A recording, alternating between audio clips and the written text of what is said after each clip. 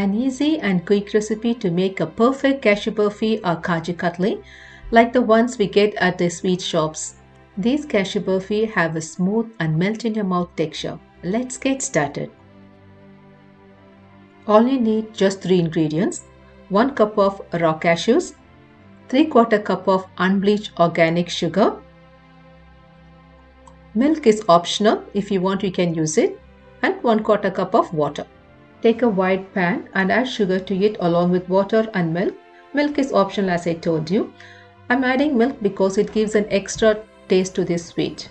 Allow the sugar and water mixture to simmer until the sugar granules dissolve completely. Take a small quantity of cashews at a time and blend to a fine powder.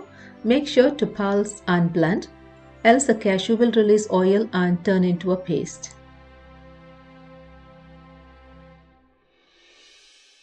Use your hand and make sure there is no lumps and set it aside. Boil for 5 minutes until you get one string consistency.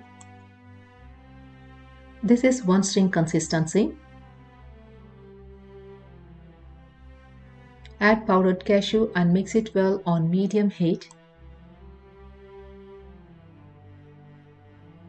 Stir continuously until the mixture is well combined. Cook until the mixture turns into a smooth paste and starts to separate from the pan slightly.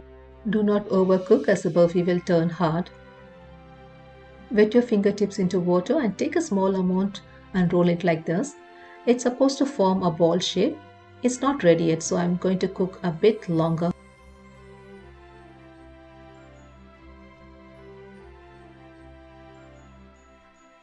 See now it's ready.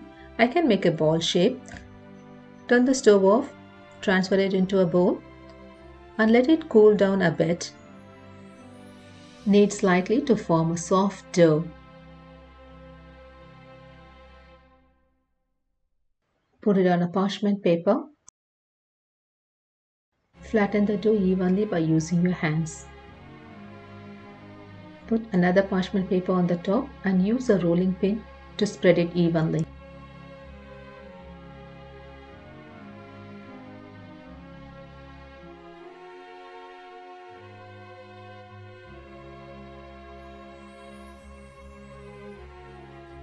Cut into diamond shapes or anything you like.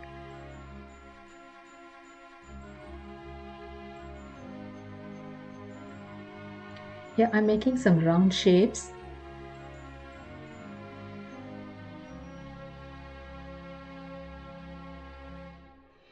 Or just roll it like this.